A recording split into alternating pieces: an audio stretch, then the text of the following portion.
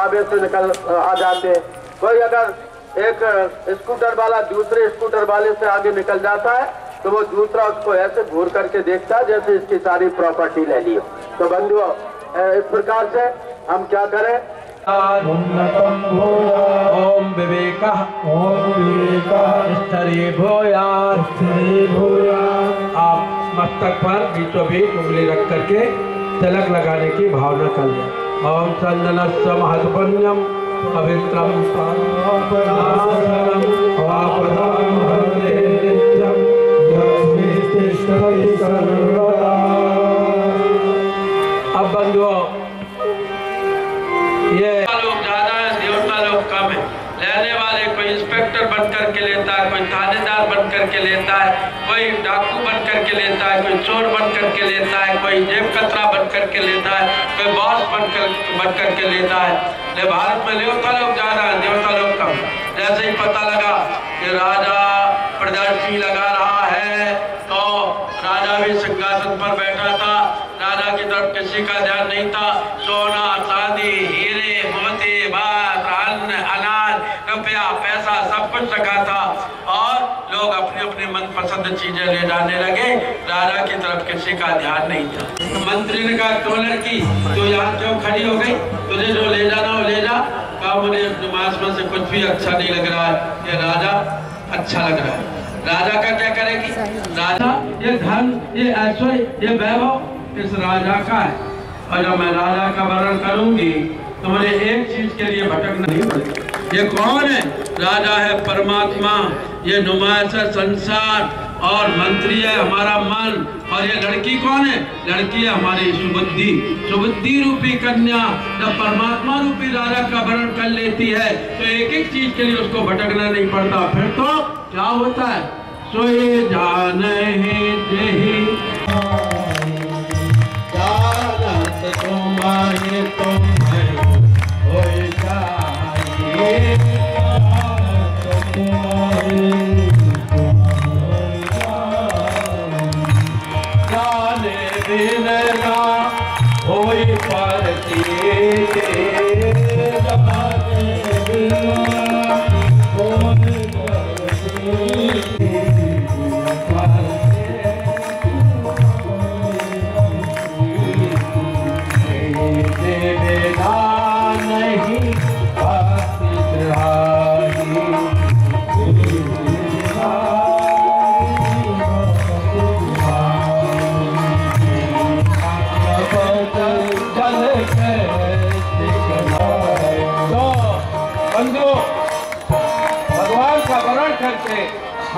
भगवान की विभूतियों के मालिक बन जाते। एक सेठ की पत्नी सेठानी कहलाने लगती चाहे एक भी हिसाब किताब रोकड़ बोकर नहीं कहलाने लगती है।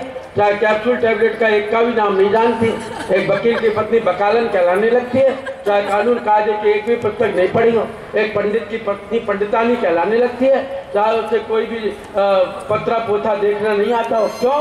क्योंकि उसने पति का वरण किया इसी प्रकार हम उपासना के द्वारा जब परमात्मा का वरण करते हैं तो भगवान की विभूतियों के हम भागीदार बन जाते हैं शेयर होल्डर बन जाते हैं। उपासना एक साधना अपने आप को साधो। किसको साधे?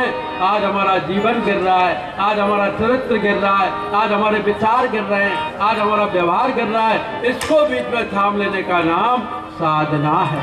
तो साधना के लिए एक दिन का व्रत या एक दिन कभी कोई गलत कार्य ना करे सोमवार को झूठ ना बोले, मंगलवार को किसी को सताए नहीं, बुधवार को किसी को दुख ना दें गुरुवार को मौन रहे तो शुक्रवार को कोई अच्छा कार्य करे, कोई एक कार्य कर लें, यह है साधना और तीसरे आराधना आराधना का मतलब ये सारी दुनिया का दीन दुखी है। भगवान कहाँ है?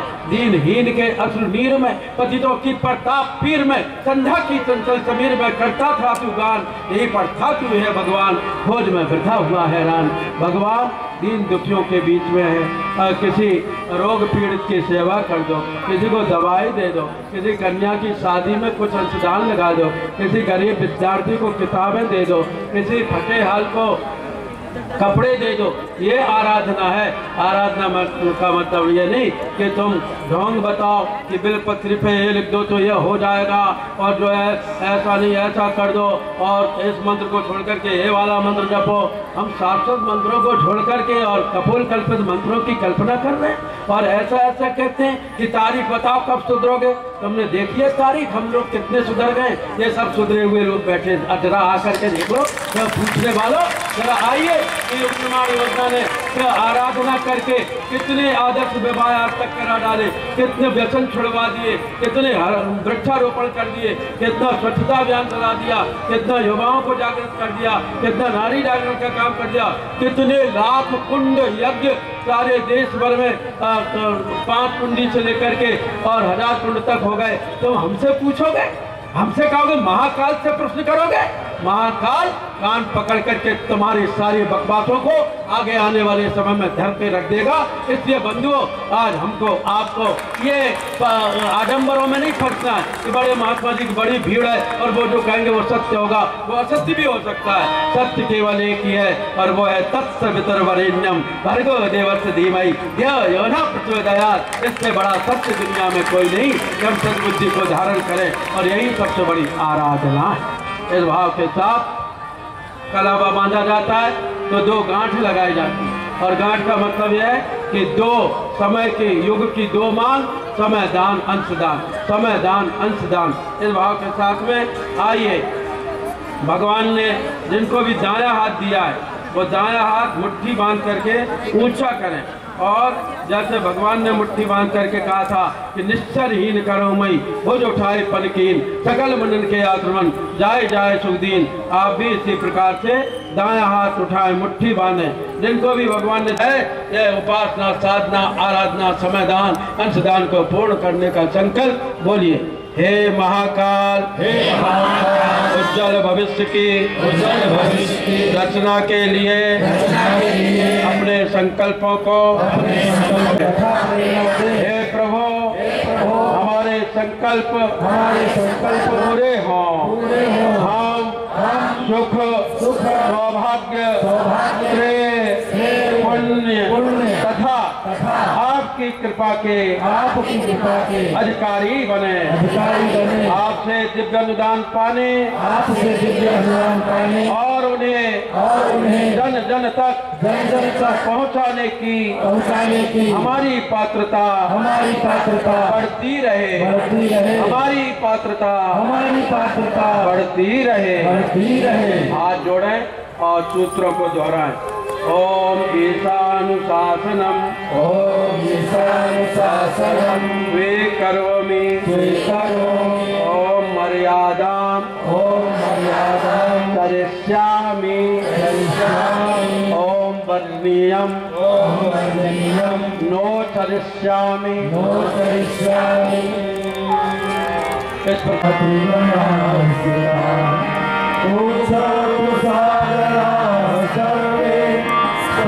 प्रकार उषाकुसागरा सर्वे सप्तगीतावसुन्दरा निर्वेदोभयदुर्वेदः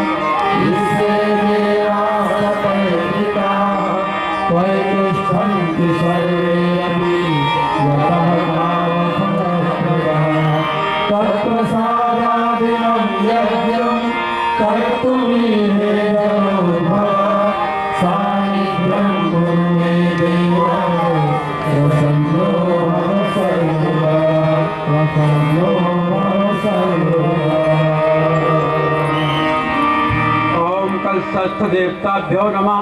आवाहयामि स्थापयामि पूजयामि ध्यायामि।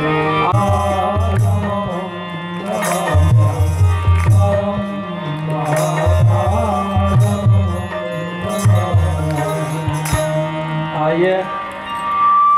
पूज्य गुरुदेव गायत्री माता में कोई अंतर नहीं अभी मैंने गायत्री पंजरी का श्लोक मंगलाचरण में बोला था, जो आदिगुरु शंकराचार्य जी ने लिखा है। नमोस्तु गुरुवे, तस्मै गायत्री रूपरे सदा। यस्य बागमतम हंति विषम संसार संगकम गायत्री और गुरु में कोई अंतर नहीं है।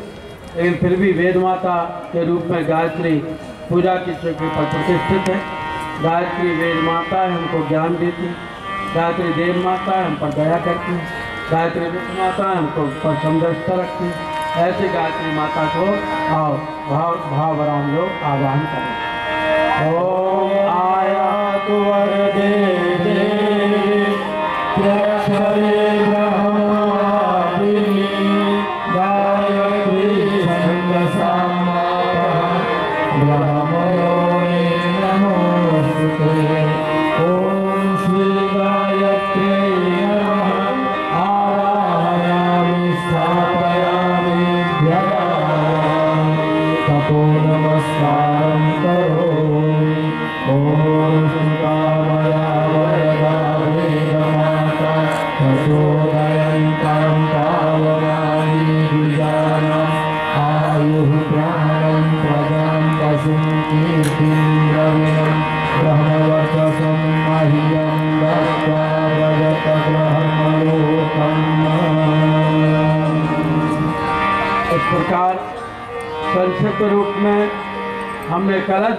के भीतर ही समस्त देव शक्तियों को स्मरण प्रतिष्ठापन किया। अब देव शक्तियों को प्रणाम करते हैं। प्रातःकाल के समय तो हमने पौराणिक वैदिक देवताओं को प्रणाम किया था। अब इस युग में जिनकी आवश्यकता है, उन चेतनाओं को प्रणाम किया जाता है। और भाव यही रहता है कि अब हमारे अंदर नया प्राण, नया दृष्टिकोण नया तेज आदित्यों के रूप में, मातृशक्ति के रूप में भाव संवेदना और तीर्थों के रूप में पवित्रता तथा महाविद्या के रूप में हमारा हम नमन करते हैं अपनी सद विवेक बुद्धि को भाव के साथ में आप लोग बोलेंगे। ओम सर्वाभ्यो ओम सर्वाभ्यो देवशक्तिभ्यो नमः। देवशक्तिभ्यो नमः। ओम सर्वेभ्यो ओम सर्वेभ्यो देवपुरुषेभ्यो नमः। देवपुरुषेभ्यो नमः। ओम सर्वेभ्यो ओम सर्वेभ्यो महाप्राणेभ्यो नमः। महाप्राणेभ्यो नमः। ओम सर्वेभ्यो। ॐ सर्वेभ्यो। महारुद्राभ्यो नमः। महारुद्रेभ्यो नमः। ओम सर्वाभ्यो। ॐ सर्वाभ्यो। आदित्यभ्यो नमः। आदितेभ्यो नमः। ओम सर्वाभ्यो। ॐ सर्वाभ्यो। मातृशक्तिभ्यो नमः। मातृशक्तिभ्यो नमः। ओम सर्वेभ्यः। ॐ सर्वेभ्यः। तीर्थेभ्यो नमः। तीर्थेभ्यो नमः। ओम महाविद्यायै नमः। नमः ओम एतत् कर्म प्रधान। ॐ एतत् कर्म प्रधान। श्रीमन् महाकालाय नमः। श्रीमन्महाकालाय नमः। आइए। भगवान का दिया हुआ ही भगवान के लिए समर्पित करते हैं। भाई पदमाकर न तैसे भाग जज्ञन के जैसे भगवान भी लिनी के बेर भाई। दुखी व सुदामा के सुचावर सवाई करके आशा गई बेगते विदुर घर आए।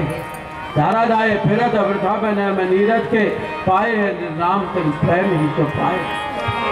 भगवान को हम श्रद्धा रूपी जल समर्पित करते हैं।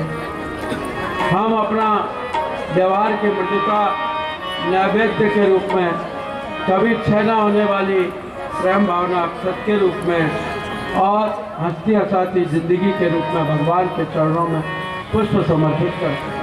जब आपके साथ में एक साथ ये चीज़ें ले लेंगे तो समर्पित। पुष्पाणि पुष्पाणि धूपम धूपं दीपम दीपं नैवेद्यम नैवेद्यं समर्पयामि समर्पयामि। ततो नमस्कारं करोमि। दोनों हाथ जोड़ करके प्रणाम करें।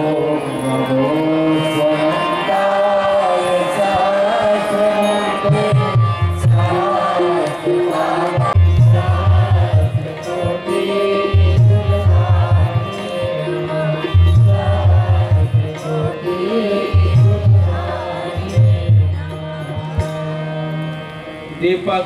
एक घंटे बाद प्रज्वलित होंगे।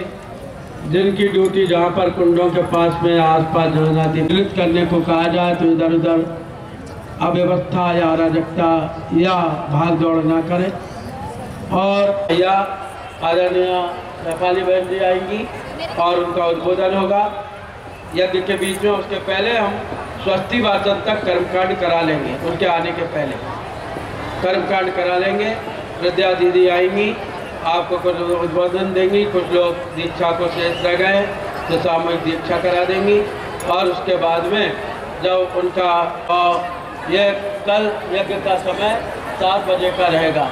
इसके बाद में आप को जैसे मालूम है कि कल पूर्णाहुति है तो पूर्णाहुति में आप लोग क्या करेंगे कि हर पारी में पूर्णाहुति चलिए परम पूज्य सदगुरु देव की।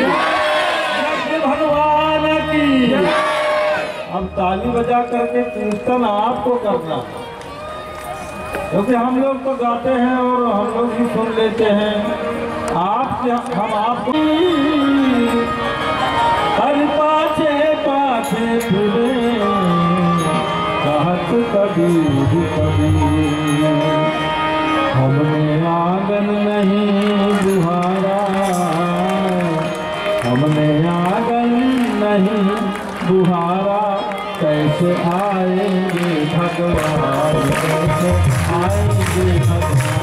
हमने आँगन नहीं बुहारा हमने आँगन नहीं बुहारा कैसे आएँगे कैसे आएँगे भगवान? कैसे आएँगे श्री कैसे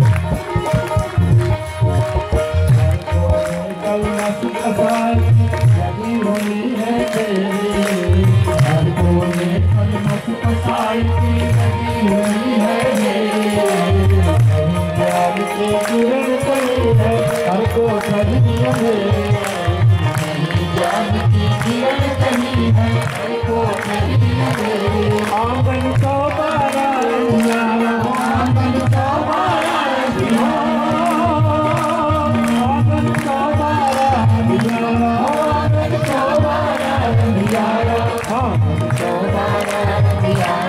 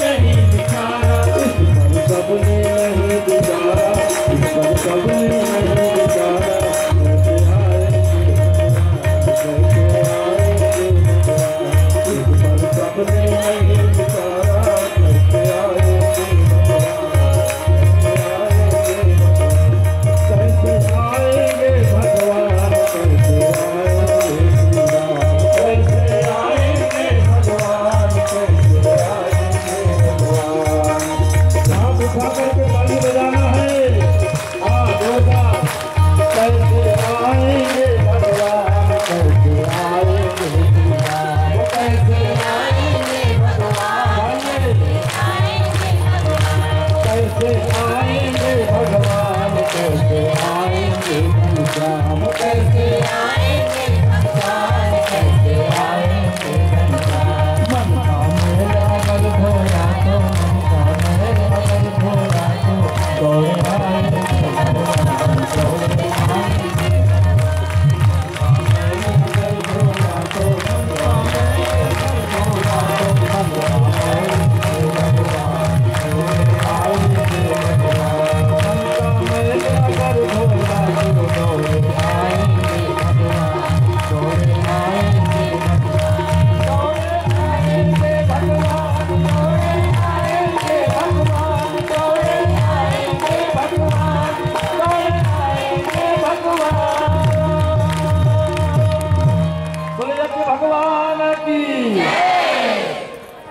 हम सबका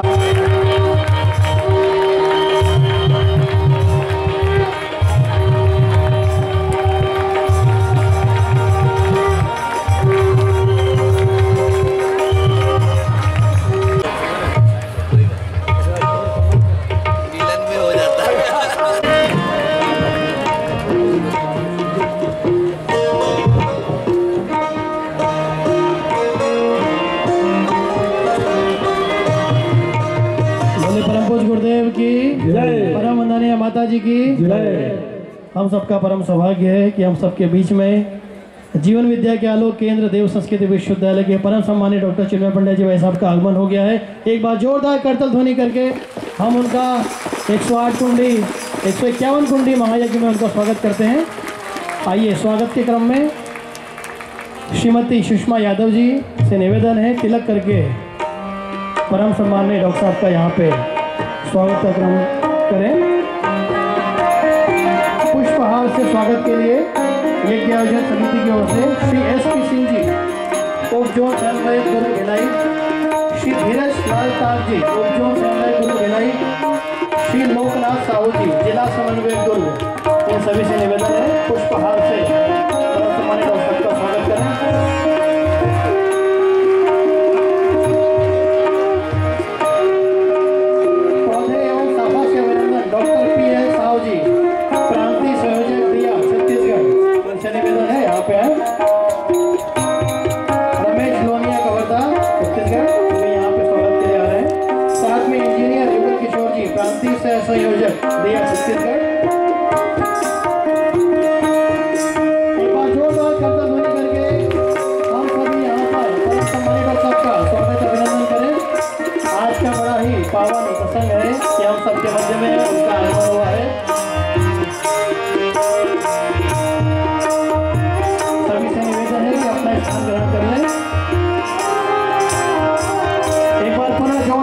परम सम्मानित डॉक्टर साहब का हम सभी इस पूरे छत्तीसगढ़ प्रांत की ओर से हम सभी स्वागत अभिनंदन करते हैं। आज के इस पावन पर्व पे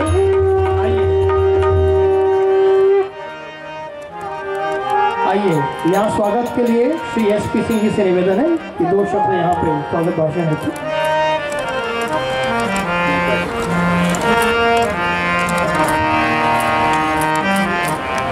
इस प्रांगण में उपस्थित सभी को नमस्कार एवं सबका हार्दिक अभिनंदन। हमें स्वागत के लिए कहा गया है कि आप स्वागत करिए। मेरी समझ में नहीं आ रहा है कि मैं क्या स्वागत करूँ, क्योंकि चिन्मय बाबू हम लोगों को मामा बोलते हैं। तो हम लोग, हमारे क्या हुए? भांजे। अब मामा को भांजे का स्वागत समझ में नहीं आ रहा है। लेकिन उनकी विद्वत्ता, उनकी प्रखरता, उनके व्यक्तित्व का हम स्वागत करेंगे। पिछले दिनों, जनवरी के महीने में मैं पाँच जगह इनके साथ चला था। करने का अवसर मुझे मिला है। गायत्री परिवार आप सबकी तरफ़ से। मैं एसपी सिंह उप जोन समन्वयक भिलाई और इस यज्ञ के आयोजक के रूप में आप सबकी तरफ़ से उनका हार्दिक अभिनंदन करता हूँ, हार्दिक स्वागत करता हूँ और ढेर सारी शुभकामनाएँ आप सबकी तरफ़ से उनको देते हैं कि वो अ, इनका भविष्य उज्जवल हो और परम पूज्य गुरुदेव के बताए हुए रास्ते पर चलकर पूरे विश्व में गायत्री परिवार का नाम रोशन करें। बस इतना ही कुछ। बहुत बहुत धन्यवाद। आप सबको, भाई साहब को भी धन्यवाद। और आप सबकी तरफ़ से जितना भी समय हम लोगों को देना चाहें, वो हम हम लोगों को वो दें और अपनी वाणी से, मुखर वाणी से आज का संदेश सुनाएँ। इन्हीं बातों के साथ पूरा धन्यवाद, अभिनंदन। मैं अपनी वाणी को विराम देता हूँ। जीवन के देवता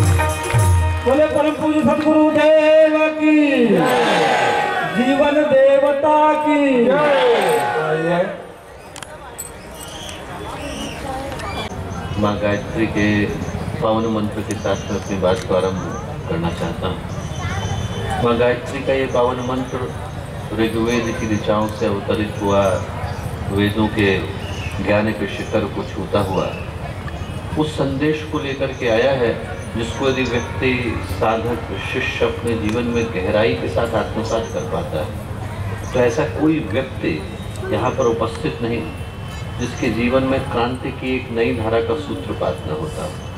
गायत्री मंत्र बताता है कि हमारे जीवन में यदि पवित्रता, प्रखरता, परिष्कार, आस्तिकता आध्यात्मिकता बौद्धिकता, इन सब का समावेश हो पाता है। यदि गंगा, यमुना, सरस्वती के रूप में वो त्रिवेणी हमारे जीवन में प्रवाहित हो पाती हैं तो जीवन उस शिखर पर जाकर के प्रतिष्ठित होता है जहाँ से मनुष्य के जीवन में श्रेष्ठता की, उत्कृष्टता की शुरुआत होती है। महानता के साथ यदि व्यक्ति जुड़ जाए तो जीवन में महानता की संभावना आ जाती है। चंदन के साथ जाकर के झाड़ झंकाड़ भी बैठ जाते हैं तो खुशबू देने लग जाते हैं। गंगा नाला भी जाकर यदि गंगा जल में मिल जाता है तो गंगा जल ही कहलाता है। भगवान के मंदिर में पड़ा हुआ छोटा सा फूल भी पूजा का आराध्य का कारण बन जाता है। वैसे ही यदि कोई व्यक्ति महानता के साथ अपने संबंध को जोड़ देता है तो फिर उसके जीवन में महानता की धारा अविरल बहने लग जाती है। गीता में आप ध्यान से सोचिए। एक बड़ी महत्वपूर्ण घटना घटती ग्यारहवें अध्याय में।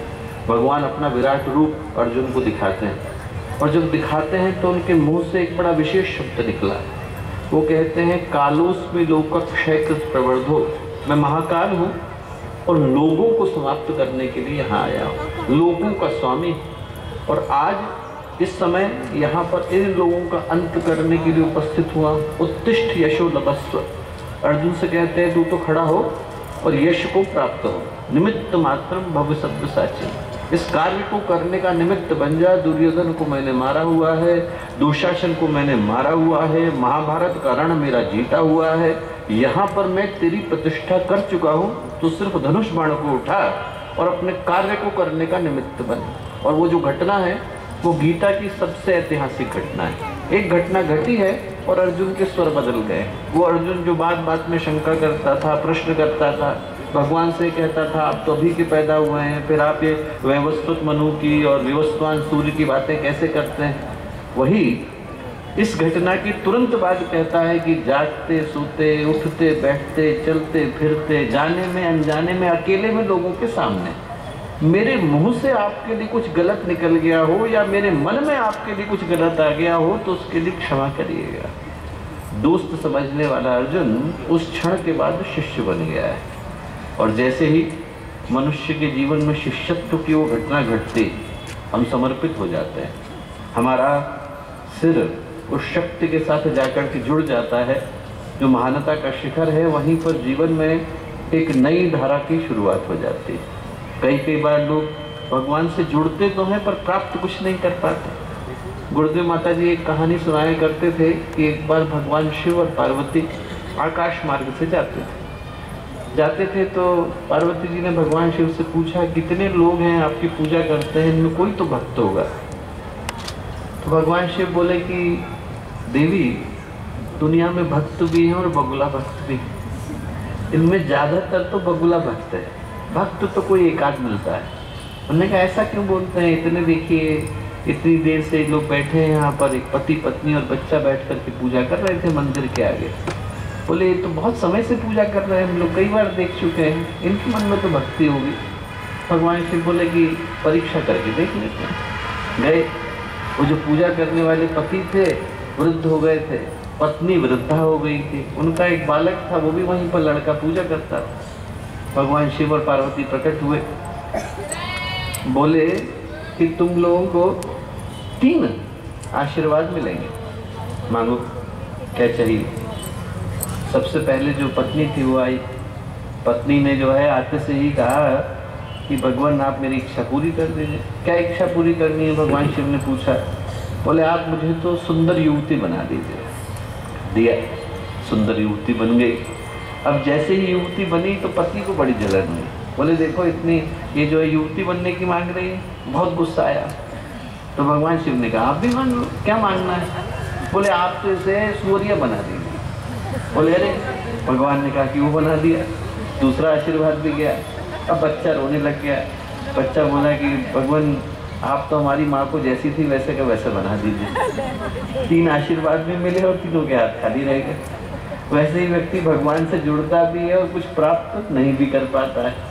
प्राप्त वही कर पाता है जिसकी श्रद्धा, जिसका समर्पण और विश्वास भगवान के साथ जुड़ पाते हैं। गुरुदेव माता जी इस कहानी को सुनाते थे तो यही कहते थे कि बेटा, मंत्र की सार्थकता तभी है जब हमारा जीवन, हमारा व्यक्तित्व, हमारी चेतना उस शक्ति के साथ जुड़ पाते हैं जो हमें ऊंचाई पर, उन्नति के शिखर पर लेकर के जाती है। आज। उसी शक्ति का हम लोग आवाहन करते हैं। भिलाई की ये पावन भूमि, जहाँ पर कभी वंदनीय माता जी का आगमन हुआ, जहाँ पर कल श्रद्धा जी जी का आगमन होने जा रहा है। ये अश्वमेध यज्ञ की भूमि, आज एक सौ इक्यावन कुंजी गायत्री महायज्ञ का पावन अवसर, जहाँ पर हम परिश्रम को, भावना को, श्रद्धा को, साधना को, समर्पण को, हर चीज़ को शिखर पर पाते हैं। छत्तीसगढ़ की एक ऐसी भूमि जहाँ पर रज रज के अंदर हम लोग भगवान की उपस्थिति को साक्षात अनुभव कर पाते हैं, उस पवित्र भूमि पर आ जाने का सौभाग्य हम लोगों को मिला। ये मेरा दुर्भाग्य था कि अश्वमेध के समय में मैं यहाँ नहीं आ सका और आज जब यहाँ पर हे माहे, हे यो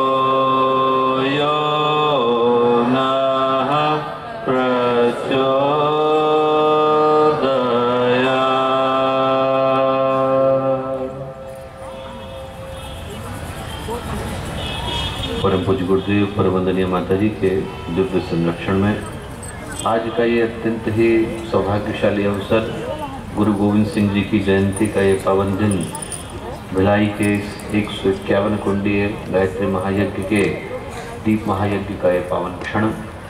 और इस सौभाग्यशाली अवसर पर हम लोगों के साथ यहाँ मंच पर उपस्थित आदरणीय निर्मल मामा जी आदरणीय श्याम बिहारी दुबे मामा जी आदरणीय परमेश्वर मामा जी आदरणीय सिंह मामा जी यहाँ उपस्थित इस क्षेत्र के सभी वरिष्ठ सम्मानित कार्यकर्तागण, इस क्षेत्र के सभी गणमान्य तिथिगण, प्यारे भाइयों बहनों और प्यारे मित्रों। मित्रों, आज एक बड़े ही अलौकिक और अद्भुत और ऐतिहासिक और पावन अवसर पर हम लोगों को यहाँ उपस्थित हो पाने का सौभाग्य मिला और जब इस तरह के विशेष आध्यात्मिक अनुष्ठानों का हिस्सा बन पाने का सौभाग्य हम लोगों को मिले। तो ऐसे समयों में अन्य चीज़ों को कर लेने के अतिरिक्त, यज्ञ में भागीदारी कर लेने के अतिरिक्त, आहुतियों को दे देने के अतिरिक्त, यहाँ पर स्वयं सेवक के रूप में अपनी भूमिका को कर लेने के अतिरिक्त, आयोजन समिति का हिस्सा बन जाने के अतिरिक्त, इस पावन वातावरण का सौभाग्य ग्रहण कर लेने के अतिरिक्त एक और चीज़ को कर लेने की आवश्यकता होती है। और जो दीप यज्ञ है, वो उसी संदेश को लेकर के आया है। हम लोगों को ऐसे पावन क्षणों में अपनी आत्मिक प्रगति की समीक्षा कर लेनी चाहिए। इस बात की समीक्षा, इस बात का मूल्यांकन कर लेना चाहिए कि जो मनुष्य का जीवन है, जिसको प्राप्त करने का अवसर अभी हम लोगों को मिला, गीत हम लोग सुन रहे थे, जीवन के देवता का और तनिक सवाल है। इस बात की समीक्षा हम लोगों को कर लेनी चाहिए कि जो मनुष्य का जीवन जिसको हम लोग प्राप्त करके बैठे हैं। इसमें ऐसा और क्या करने की आवश्यकता है? यदि अगला क्षण आ जाए और भगवान कहे कि बहुत दिन रह लिए चेकआउट का नोटिस आ जाए तो ऐसे में मुँह से निकले कि जो कि त्यों धर दिली चल रही है। जो गर्व, गौरव, तृप्ति, संतोष है कि जिस उद्देश्य के लिए आप लोगों ने मनुष्य के जीवन को दिया था, हम भगवान से कह सकें, उस उद्देश्य के साथ हम लोग न्याय कर सकें, इंसाफ कर सकें। मन में एक गौरव का भाव रहे, एक सौभाग्य का भाव रहे, एक संतोष का भाव रहे कि जिस उद्देश्य को लेकर के धरती पर आए थे, उस उद्देश्य के साथ हम लोग न्याय कर सके। जो दीप यज्ञ का अवसर आता है, वो यही स्मरण दिलाने के लिए आता है कि इस धरती पर अमरता लेकर के कोई आया नहीं। और भगवान ने हर व्यक्ति को उसके कार्य को करने की एक निश्चित कालावधि उपहार में दी। हम लोग को जो जीवन मिला है, उस जीवन में हम लोग अपने उद्देश्य के साथ न्याय, इंसाफ कर पा रहे हैं कि नहीं? ये जो मनुष्य का जीवन है, ये एक संभावना के रूप में मिलता है, एक बीज के रूप में मिलता है। और बीज के अंदर खूबसूरती क्या होती है?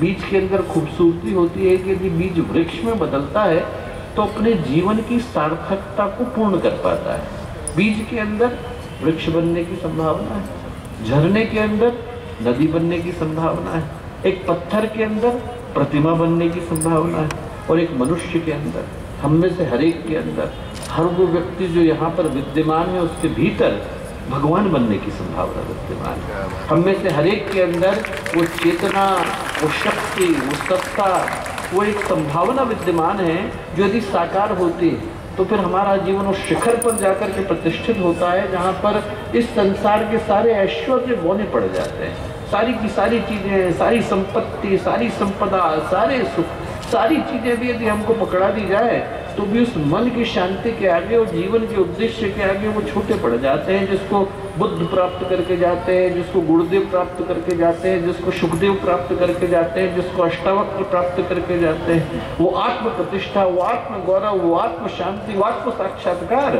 जो मनुष्य के जीवन का और मानवीय पुरुषार्थ का अंतिम शिखर है उस ओर चलने का इशारा ये दीप यज्ञ करता है। दीपृक्ष में हम लोग अपने आंतरिक जगत के अंधेरे का मूल्यांकन करके देखें। पूछें अपने आप से कि जो मनुष्य के जीवन के रूप में अवसर हम लोगों को मिला, इस अवसर को हम लोग सौभाग्य में बदल पाते हैं कि नहीं? यदि चट्टान प्रतिमा में नहीं बदलती तो चट्टान ही बन करके रह जाती। नहीं तो उसी को हम लोग शालीग्राम के रूप में पूछते हैं। एक कहानी आती है कहीं पर बहुत प्यारी। कहानी आती है कि एक प्रसिद्ध मूर्तिकार था। एक खेत से गुजरता था। खेत से गुजरते समय में उसने देखा कि एक चट्टान वहाँ पर पड़ी। उसने जो किसान था, जिसका वो खेत था, उससे जा कर के कहा कि भैया चट्टान बेचोगे हमें उसने कहा, बेचोगे? मैं आपके घर में मुफ़्त में छोड़ के आऊँगा, ऊपर से पैसे दूँगा, मेरा खेत रोक करके खड़ी आपको चाहिए तो ले जाओ। लेकर के आया, छोड़ के आया। एक साल के बाद वो मूर्तिकार बोला उस किसान से कि भैया, थोड़ी देर के लिए हमारे घर चलोगे? बोले हाँ। लेकर के गया। वहाँ भगवान की मूर्ति थी, साक्षात सजीव। इतनी सजीव कि उसको लगा कि भगवान स्वयं धरती पर उतर आए। उसके हाथ श्रद्धा से जुड़ गए, आँख से आँसू गिरने लगे, बोले, आप कहाँ से लेकर के आए?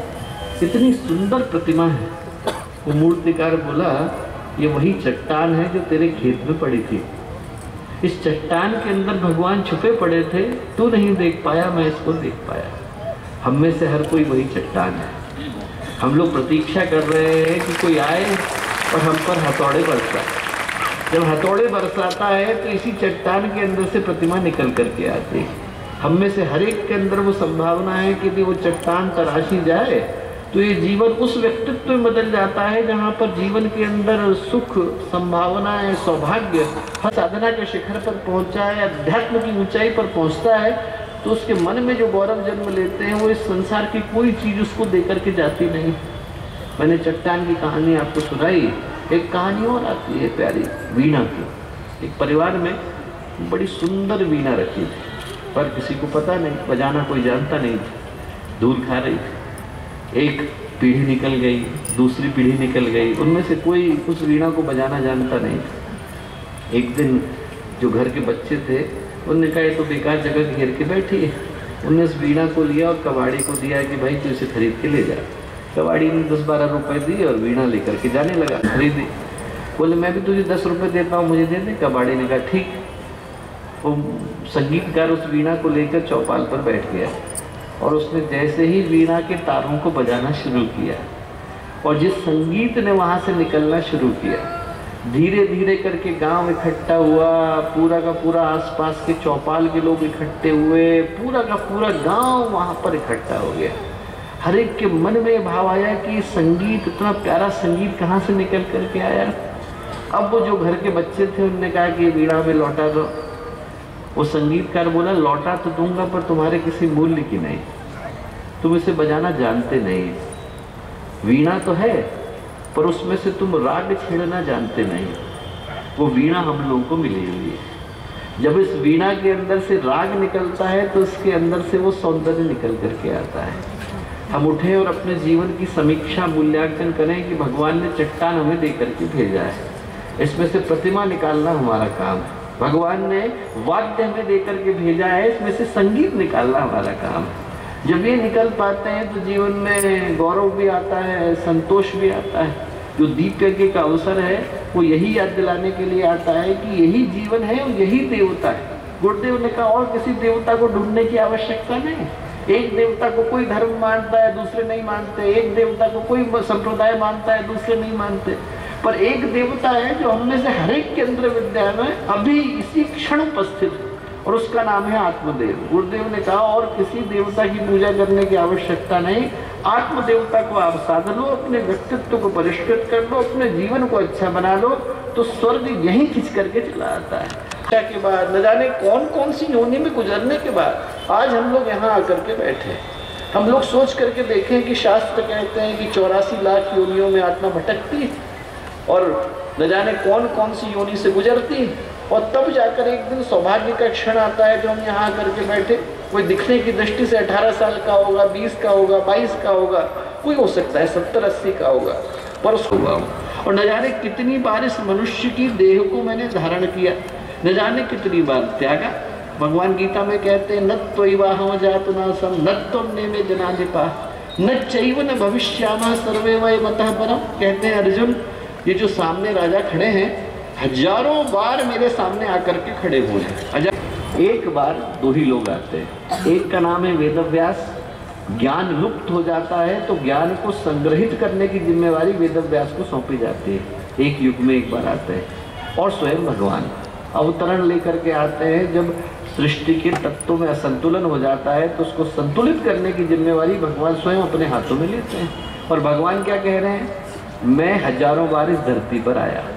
जब भगवान हज़ारों बार धरती पर आए तो हमारी गिनती कहाँ पर गई? जो एक युग में एक बार आते हैं, वो अपनी गिनती हज़ारों में बताते हैं तो हमारी गिनती तो असंख्य अरबों में चली गई। न जाने कितनी बार हम लोगों ने इस शरीर के अंदर चेक इन किया होगा, और न जाने कितनी बार इस शरीर से चेकआउट किया होगा। हज़ारों बार ये अवसर मिला होगा कि मनुष्य के जीवन को धारण किया होगा, और हज़ारों बार आँख से आँसू लेकर के विदा हुए होंगे कि मनुष्य का जीवन मिला भी, पारस का पत्थर मिला भी पर अपने जीवन को हम लोग संवार न सके। उसको वहाँ न पहुँचा सके, जहाँ पर पहुँचाने की आवश्यकता थी। गुरुदेव नहीं बन सके, विवेकानंद नहीं बन सके। हमारे अंदर का वो चेतना का शिखर जाग नहीं पाया। हमारे मन में कहीं न कहीं ये भाव आया होगा कि हे भगवान, इस मनुष्य के जीवन को प्राप्त भी किया और यहाँ से निराश होकर के जा रहे हैं। आँख से आँसू भी गिरे होंगे, मन में संताप भी आया होगा, ग्लानी भी हुई होगी, पश्चाताप भी हुआ होगा। मन में दर्द भी हुआ होगा कि हे प्रभु, मनुष्य का जीवन मिला पर इसके साथ कुछ कर नहीं पाए। तो हम लोगों को सोचने की आवश्यकता है कि आज उस अवसर को हम लोग लेकर के आए। आप यदि क्रिकेट को खेलें, और क्रिकेट को जब खेलते हैं और आपके पास एकदम सफ़ेद नए नए कपड़े हों, आप नया बल्ला लेकर के, नई ड्रेस लेकर के, नए गार्ड को लेकर के उतरें, और पहली बॉल पर आउट हो जाए तो कैसा लगता है? फिर आदमी को लगता है, बड़ा दुख है भाई, अगली बार उतरेंगे तो अच्छे रन बना के आएँगे। तो हम ये सोचें, अभी तो हम लोग क्रीज पर है। अभी तो भगवान ने हम लोगों को अवसर दिया हुआ है। अभी तो हम अपनी पारी को चाहे जिस तरह से जी पाने की संभावना अपने अंदर सुरक्षित रखते हैं, अगली पारी की प्रतीक्षा ही क्यों की जाए? इस पारी को ही अच्छा बनाया जाए। जो दीपक है, वो याद दिलाता है कि इसी पारी को अच्छा खेलने के लिए आज का अवसर आया है। याद दिलाने के लिए आया है कि जब प्रकाश हो तो उस प्रकाश के आलोक में हम अपने जीवन की समीक्षा करें, स्मरण रखें। कि हज़ारों जन्मों की प्रतीक्षा के बाद मनुष्य का जीवन मिल पाता है। एक बड़ी प्यारी कहानी आती है और कहानी का मूल्य बहुत प्यारा है। कहानी है, संत ज्ञानेश्वर के पहले शिष्य की नाम था चांगदेव। और चांगदेव जो थे, तिब्बत के लामा थे, चौदह वर्ष, चौदह सौ वर्ष की समाधि उनने लगाई। चौदह सौ वर्ष की उम्र नहीं, चौदह सौ वर्ष की समाधि उनने लगाई। आप सोच के देखो, चौदह सौ वर्ष की उम्र ही अपने आप में चमत्कार है। पर यदि कोई चौदह सौ वर्ष की समाधि लगाए तो कितना बड़ा चमत्कार है। इतनी बड़ी समाधि उनने लगाई। उनको सिद्धि मिली। सिद्धि क्या मिली? मृतक के सिर के ऊपर हाथ रखेंगे तो जी जाएगा। मुर्दे के सिर पर हाथ रखेंगे, खड़ा हो जाएगा। अब इतनी बड़ी सिद्धि। भारत भर के कोने कोने से लोग अपने अपने घर के जो जो संबंधी रिश्तेदार, दोस्त, शरीर त्याग गए होते थे, उनके शवों को लेकर के पहुँचते थे। जैसे ही सिर पर हाथ रखते थे, खड़ा हो जाता था, चले जाते थे, लोग जय जयकार करते हुए जाते थे, और जितनी जय जयकार होती थी, उतना उनका अहंकार बढ़ता कि मेरे पास वो सिद्धि है जो सिर्फ़ भगवान के पास है। एक दिन ध्यान लगा के बैठे। इतनी देर में बाहर लोगों के शव रखे हुए थे। आठ साल की एक लड़की आई, नाम था रत्नाबाई, संत ज्ञानेश्वर की छोटी बहन। रत्नाबाई ने कहा, यहाँ इतनी भीड़ क्यों है? यहाँ आँख बंद करके क्यों बैठे हैं? बाहर इतने सारे शव क्यों लेटे हैं? लोगों ने कहा कि साहब, ये बहुत बड़े संत हैं। अभी इनके पास ऐसी सिद्धि है कि मुर्दे के सिर पर हाथ रखेंगे तो मुर्दा खड़ा हो जाएगा। प्रतीक्षा करो अभी आँख खोलने की। रत्नाबाई हँसी। बोले, उसके लिए इनके आँख खोलने की, प्रतीक्षा करने की क्या आवश्यकता है? तुलसी का दल लिया, मुर्दों के मुँह में डाला, हर मुर्दे के कान में गायत्री मंत्र फूका, मुर्दे खड़े हुए चले गए। आँख खुली जाएँगे आँख खुली तो उनको बड़ा आश्चर्य हुआ कि आज तो कोई भीड़ नहीं, कहाँ गई? पूछा तो उनके जो शिष्य थे, उनने बताया, आठ साल की बच्ची आई थी ऐसी ऐसी घटना घटी। चाँद देव के अहंकार पर बड़ी चोट पहुँची। उनको लगा, आठ साल की बच्ची के पास वो सिद्धि है जो मैं चौदह सौ साल की समाधि के बाद प्राप्त कर पाया। किस, कौन आया धरती पर? ऐसा कौन है जिसके पास ऐसी सिद्धि है? ध्यान लगाया तो पता चला कि भगवान का अवतरण हुआ है। मिलने के लिए जाया जाए। पर कैसे जाए? आज की तरह का समय तो था नहीं कि आप फेसबुक पर टैग कर दो। चिट्ठी लिखनी पड़ेगी। चिट्ठी लिखने के लिए बैठे तो चिट्ठी में क्या लिखें? बड़ा लिखें कि छोटा लिखें? बहुत देर सोचने के बाद ये निश्चय नहीं कर पाए कि उनको संबोधित क्या करें। बड़े की दृष्टि से करें कि छोटे की? तो उनने कोरा कागज़ लिया, दूध के हाथ भेज दिया। जब दूध चिट्ठी लेकर के पहुँचा तो संत ज्ञानेश्वर तो कुछ नहीं बोले, पर उनकी छोटी बहन मुक्ताबाई हंस गई। दूध ने पूछा, हंस क्यों रहे हैं? बोले 1400 साल के बाद भी कोरे के कोरे रह गए कोरा कागज़ भेज दिया ज्ञान होता तो समझते तो अब एकदम चांददेव को मन में बड़ा बुरा लगा। उनको लगा कि भाई, आठ साल की बच्ची मुझ पर हंस रही है, मिलने के लिए जाना है। पर अभी भी अहंकार गया नहीं। उनको लगा साधारण तरीके से तो कोई चला जाएगा। ये कैसे पता चलेगा कि सिद्ध संत मिलने के लिए आ रहे हैं? तो उनने एक शेर की सवारी बनाई, सांप का चाबुक लिया। इस पे चढ़ के जाएँगे। लोगों को पता चले कि भाई बड़े सिद्ध संत आ रहे हैं। पीछे लोग जय जयकार करते हुए चले। जब संत ज्ञानेश्वर के पास पहुँचे तो संत ज्ञानेश्वर अपनी दीवार की मुंडेर पर बैठे थे। लोगों ने कहा कि साहब, वो शेर पे चढ़ के आ रहे हैं, आप क्या करेंगे? संत ज्ञानेश्वर बोले, हमारे पास तो शेर है नहीं। दीवार को थपथपाया बोले, चल, तू ही चल। दीवार उड़ करके गई। और जब दीवार उड़ करके गई और चांददेव के सामने उतरी, तब उनका अहंकार टूटा और वो संत ज्ञानेश्वर के पहले शिष्य बने। और कहानी का जो मर्म है, वो कितना प्यारा है। कहानी का मर्म क्या है? 1400 साल की समाधि भी व्यक्ति को जगा करके नहीं जाती जागना हो तो व्यक्ति को इसी क्षण जागना होता है। व्यक्ति को अपने जीवन का मूल्य मापना हो तो इसी क्षण मापना होता है। जो ये सोचे कि कल करेंगे, उसके जीवन में कल कभी आता नहीं। जागना हो तो एक क्षण व्यक्ति को जगाने के लिए पर्याप्त है। हम अपने आप से पूछें और अपने आप से सोचें कि क्या हम जागने को तैयार हैं? समाज जो है, वो जीवन के मूल्य की जो परिभाषा है, वो बहुत छोटी चीज़ों से करता है। आत्मज्ञान से करता कौन? है समाज आपके जीवन की परिभाषा तय किससे करता है? बाहर की सफलता से। आप पे पैसे आए कि नहीं? और पैसे आए इतना काफ़ी नहीं है। औरों की तुलना में ज़्यादा है कि नहीं? घर है इतना काफ़ी नहीं है, औरों से बड़ा है कि नहीं? गाड़ी है इतना काफ़ी नहीं है, औरों से बढ़िया है कि नहीं? पैसा है इतना काफ़ी नहीं है, औरों से ज़्यादा है कि नहीं?